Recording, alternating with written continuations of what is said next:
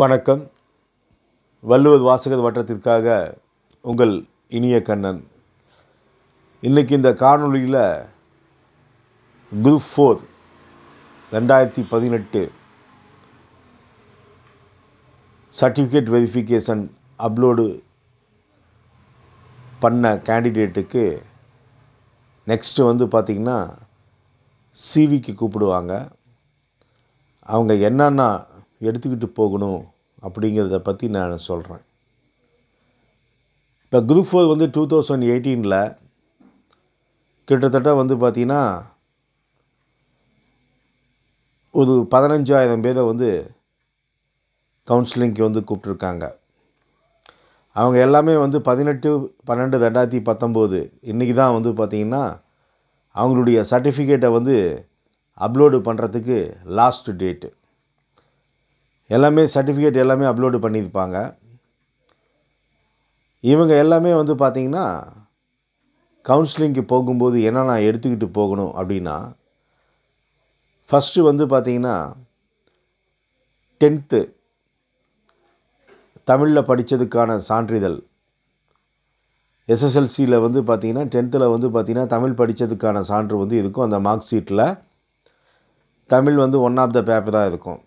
அப்போ டென்த்து வந்து mark sheet வந்து எடுத்துக்கலாம். ரெண்டாவது வந்து பார்த்திங்கன்னா ஏஜ் உங்களுடைய வயது வந்து சான்றிதழ்.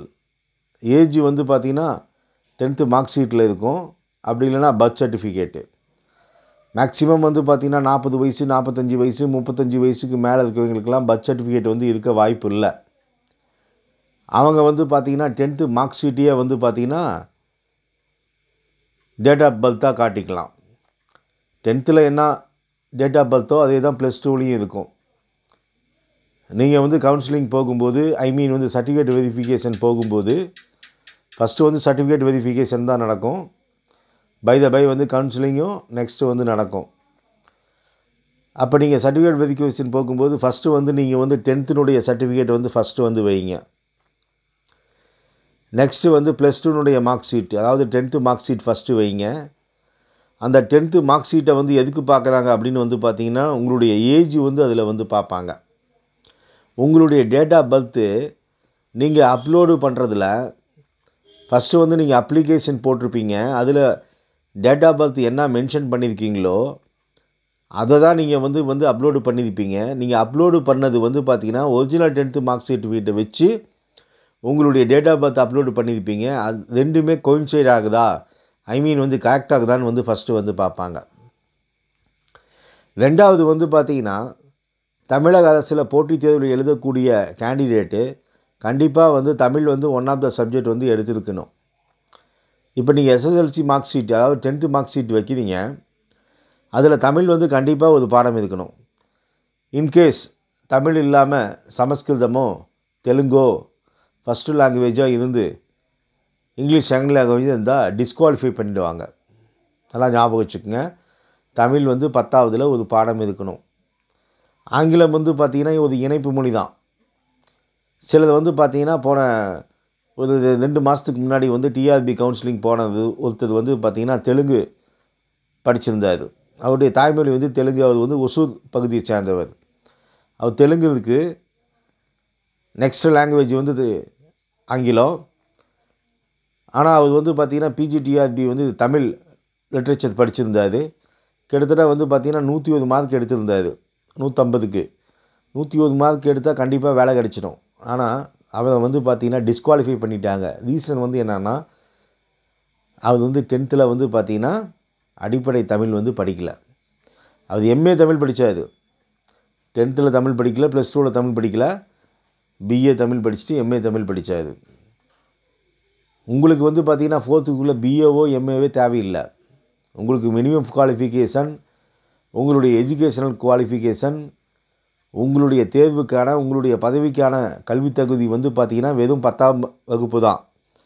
அதனால் நீங்கள் பிஏ என்ன படிச்சீங்க எம்ஏ படிச்சீங்கலாம் கேட்க மாட்டாங்க. உங்களுடைய பத்தாவதில் உங்களுடைய எஸ்எல்சி சர்டிஃபிகேட்டில் தமிழ் வந்து ஒரு பாடம் கண்டிப்பாக இருக்கணும்.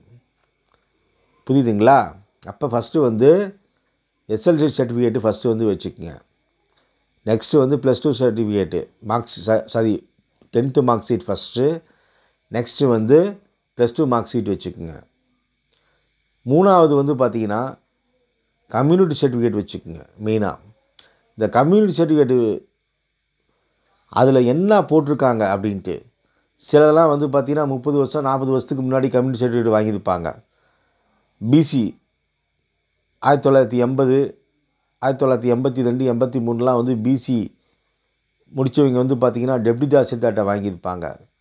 ஆனால் இப்போ வந்து பார்த்திங்கன்னா ஹெட் குவார்ட்டர்ஸ் டெப்டி தாசில்தார் மட்டும்தான் செல்லும். அதே மாதிரி வந்து பார்த்திங்கன்னா ஒரு இருபது வருஷத்துக்கு முன்னாடி ஒரு எஸ்சி கேண்டிடேட்டு அதாவது அருந்ததியர் சமூகத்தை சேர்ந்தவங்களுக்கு கம்யூனிட்டி சர்டிஃபிகேட் வந்து காமனாக தான் இருக்கும் எஸ்சின்னு தான் இருக்கும். உள்ளே வந்து பார்த்திங்கன்னா எஸ்சியில் வந்து ஆதி திராவிடர்னு இருக்கும் அருந்ததின்னு இருக்கும். ஆனால் எஸ்சி ஏன்னு இருக்காது? ஆனால் எஸ்சிஏ அப்படிங்கிற உள்ஒதுக்கீடு வந்து பார்த்திங்கன்னா கலைஞர் கருணாநிதியினுடைய ஆட்சியில் தான் அந்த மாதிரி வந்தது. அதனால் நீங்கள் வந்து பார்த்திங்கன்னா சப்போஸ் வந்து அருந்ததியினுடைய வகுப்பில் நீங்கள் இருக்கிறீங்க. ஆனால் நீங்கள் ஆயிரத்தி தொள்ளாயிரத்தி எண்பதில் எண்பத்தஞ்சு தொண்ணூறில் நீங்கள் வந்து டென்த்து முடிச்சிருந்து கம்யூனிட்டி சர்டிஃபிகேட் வாங்கியிருந்தீங்கன்னா உங்களுக்கு எஸ்சி அருந்ததியினர் மட்டும்தான் இருக்கும்.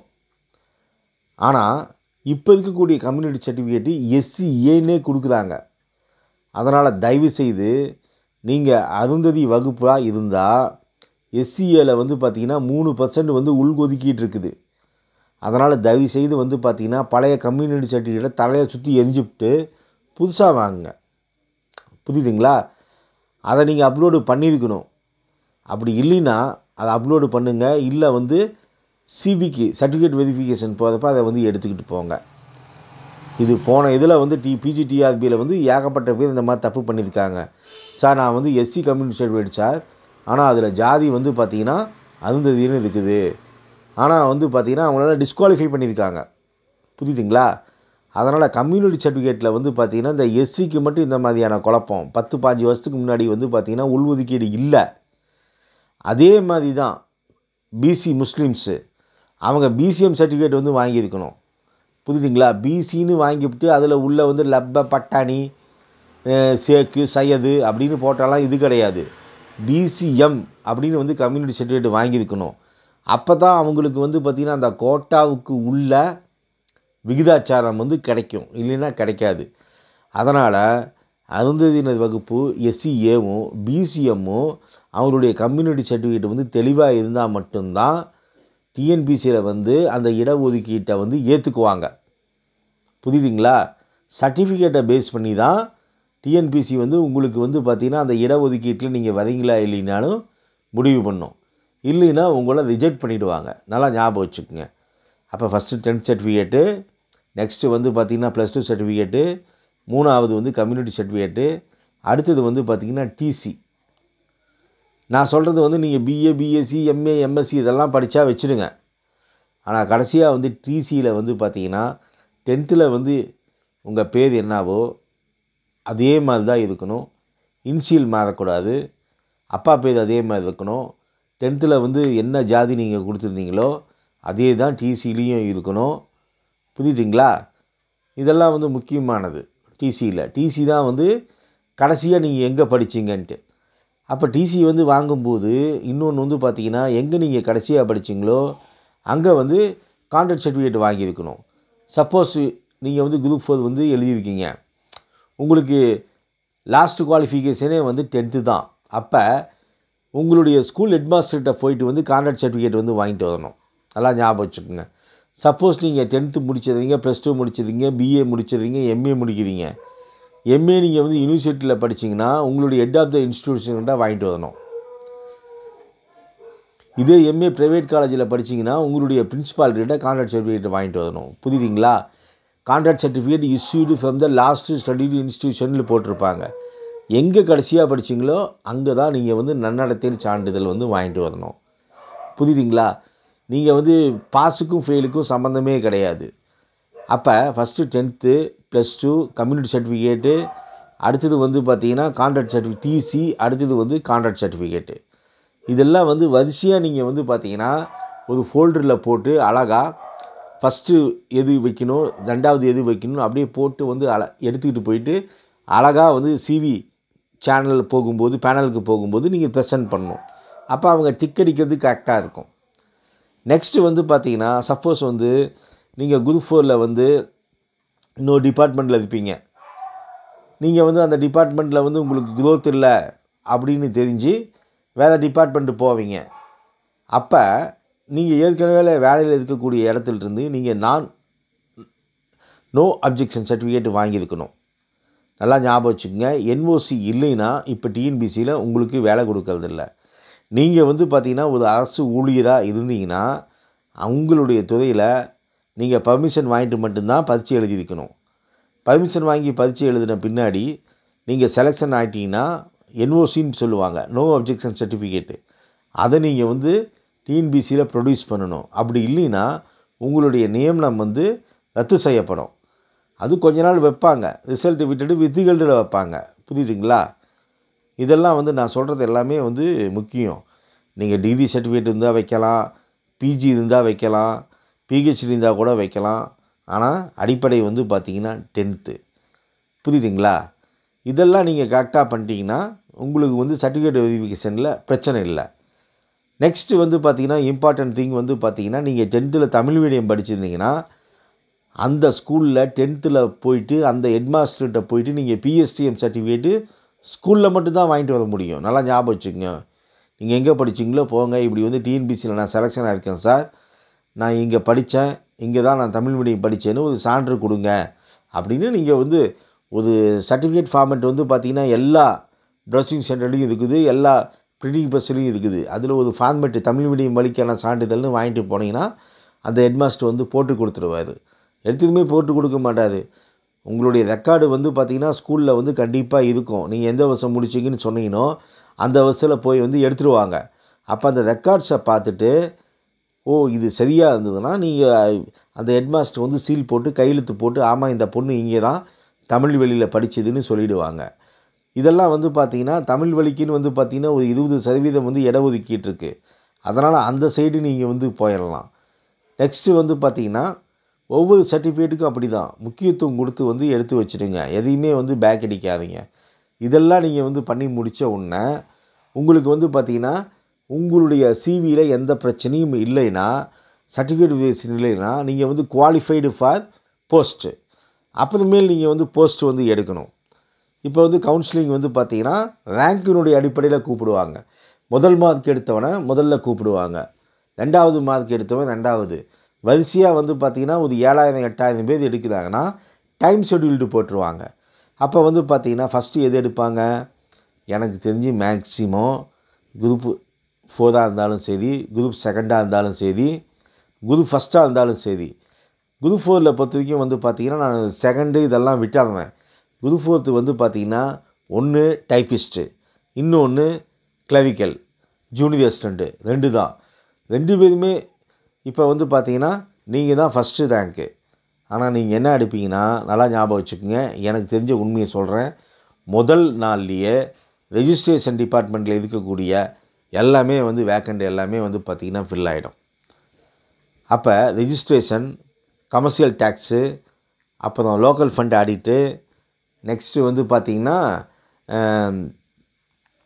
இது என்ன சொல்லுவோம் பார்த்திங்களா லோக்கல் ஆர்டிஓ இதெல்லாம் வந்து பார்த்திங்கன்னா ஃபஸ்ட்டு ரெண்டு மூணு நாளைக்குள்ளே வந்து பார்த்திங்கன்னா இந்த வேக்கண்டெல்லாம் இதாகிடும் புரியுதுங்களா? எவ்வளோ வேக்கன்சி இருந்தாலும் ஃபஸ்ட்டு வந்து மெஜாரிட்டியாக வந்து பார்த்திங்கன்னா ஃபஸ்ட்டு வந்து பார்த்திங்கன்னா இதுதான் அதிகமாக எடுக்கிறாங்க. Registration department commercial tax local fund audit அப்புறம் வந்து பார்த்திங்கன்னா இன்னொன்று வந்து முக்கியமான இது வந்து இந்த இதில் நல்ல பேருங்க. அதாவது சர்வே டிபார்ட்மெண்ட்டு லாஸ்ட்டு வந்து ரெவென்யூ வருவாங்க. கடைசியில் தான் மேக்ஸிமம் லாஸ்ட்டில் பின்னாடி தான் வந்து ஜுடிஷியல் டிபார்ட்மெண்ட்லாம் வராங்க. அதனால் வந்து பார்த்திங்கன்னா நீங்கள் இப்போயே வந்து பார்த்திங்கன்னா நீங்கள் ஒரு நூறு பேர்த்துக்குள்ளே இருந்தீங்கன்னா நீங்கள் வந்து இது பண்ணி வச்சுக்கோங்க. இன்னொன்று வந்து பார்த்தீங்கன்னா உங்களுடைய பொசிஷன் சொல்லுங்கள் இந்த வீடியோவை பார்த்துட்டு சார் நான் வந்து பத்தாயிரத்தில் இத்தனை இடத்துல இருக்கேன். நான் பத்தாவது இடத்துல இருக்கேன். நூறாவது இடத்துல இருக்கேன். நூற்றம்பதாவது இடத்துல இருக்கேன் உங்களுக்கு நான் வந்து பார்த்திங்கன்னா டிஎன்பிசியில் நான் வந்து எல்லா போஸ்டிங்களும் என்னுடைய மாணவர்கள் வந்து பார்த்திங்கன்னா ரெண்டாயிரம் மூணாயிரம் பேர் வந்து பார்த்திங்கன்னா ரெஜிஸ்ட்ரேஷன் டிபார்ட்மெண்ட்டில் இருக்காங்க. கமர்ஷியல் டேக்ஸில் இருக்காங்க. லோக்கல் ஃபண்ட் ஆடிட்டில் இருக்காங்க. கோஆப்ரேட்டிவ் டிபார்ட்மெண்ட்டில் இருக்காங்க. ஸ்கூல் எஜுகேஷன் டிபார்ட்மெண்ட்டில் இருக்காங்க. வெட்டினரி டிபார்ட்மெண்ட்டில் இருக்காங்க. அதனால் இதில் உங்களுடைய உங்களுக்கு எந்த டிபார்ட்மெண்ட் வந்து ஸ்ட்ரென்த்தாக இருக்கும் எது வந்து இதாக இருக்கும் அப்படிங்கிறது எல்லாமே வந்து பார்த்திங்கன்னா நீங்கள் தயவுசெய்து வந்து பார்த்திங்கன்னா நான் ஒரு நம்பர் கொடுக்குறேன். அதுக்கு ஃபோன் பண்ணி நீங்கள் வந்து கேளுங்க.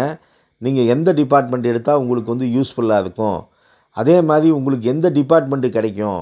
நல்லா ஞாபகம் வச்சுங்க. ஃபஸ்ட்டு முதல் நாள்லேயே மேக்ஸிமம் வந்து பார்த்திங்கன்னா நைன்ட்டி நைன் பர்சன்ட் வந்து பார்த்திங்கன்னா ரிஜிஸ்ட்ரேஷன் வந்து ஃபுல்லாகிடும் இன்னொன்று வந்து பார்த்திங்கன்னா உங்களுக்கு எது கிடைக்கும்னு கூட என்னால் வந்து பார்த்திங்கன்னா துல்லியமாக வந்து சொல்ல முடியும். அதனால் இந்த காணொலியை பார்த்துட்டு நீங்கள் வந்து பார்த்திங்கன்னா முதல் மார்க் எடுத்துவீங்க ரெண்டாவது மார்க் எடுத்துவீங்க எல்லாமே வந்து ஃபோன் பண்ணுங்கள் யார் யாருக்கு வந்து கவுன்சிலிங்க்கு கூப்பிடுறாங்களோ உங்களுடைய பொசிஷன் சொல்லுங்கள் உங்களுக்கு கிடைக்குமா கிடைக்காதான்னு நான் தெளிவாக சொல்லிவிடுவேன். இன்னொன்று நீங்கள் எந்த டிபார்ட்மெண்ட் எடுத்தால் உங்களுக்கு யூஸ்ஃபுல்லாக இருக்கும் அப்படிங்கிற விஷயத்தையும் நான் வந்து சொல்லிடுறேன். அடுத்த காணொலியில் வந்து பார்த்திங்கன்னா குரூப் ஃபோரில் இருக்கக்கூடிய வேக்கன்சி டீட்டெயில்ஸ் ஃபுல்லுமே உங்களுக்கு நான் வந்து இந்த வள்ளுவர் வாசகத்தின் மூலமாக பகிர்ந்து கொள்ள ஆசைப்படுவேன் நன்றி வணக்கம். இப்படிக்கு உங்கள் இனிய கண்ணன்.